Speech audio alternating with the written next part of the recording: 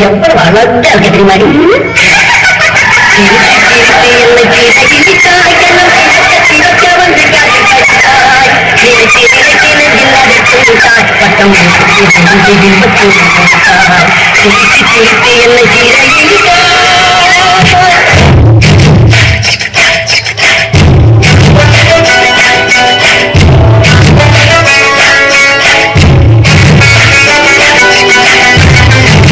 Take a look at